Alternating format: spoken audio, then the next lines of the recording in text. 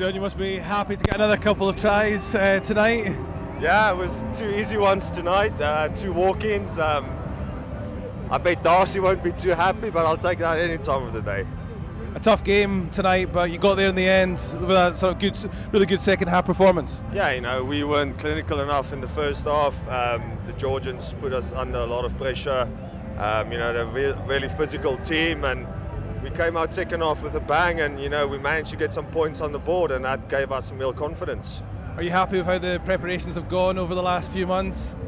Yeah, you know, we've played we've played four games. You know, um, won three out of four. Should have potentially, uh, you know, beaten France away. But I think we can take real confidence from all the games we've played, and, and we can just build on that towards South Africa. And now looking forward to, as you say, getting over to France and uh, that South Africa match in a couple of weeks. Yeah, you know, it's it's two weeks away. Um, we'll have uh, enjoy each other's company tonight and back in on Monday and you know work on the bits we have to work on and then uh, in two weeks time we play South Africa. And just finally a word for the fans have again once again come out in huge Yeah. numbers to support you. Yeah, you know, I just want to say thanks to all our fans who came out today uh, to support us.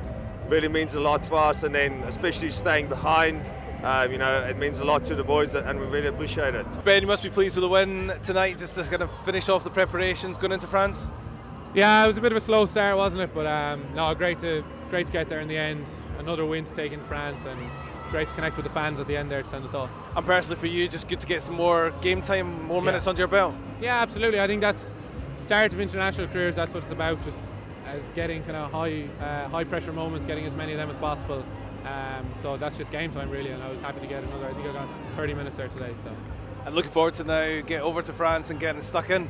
Yeah, I can't wait. Um, we've been there before, bit in pre-season, um, and then over for the second French game, obviously. So we're well used to it. But um, no, I look forward to getting over there. Excitement levels are very high. Yeah. And just finally, how much have you enjoyed being in camp with the boys over the last few months? Oh yeah, I love it. I I love everything about it. Like, um, you know, it's, it's a great group. They've been very welcoming from the start. I, I really get on well with the coaching staff, the backroom team, all that. You know, and the boys as well, obviously. Um, so no, it's been really enjoyable. It's been a long few weeks, as every World Cup pre-season is.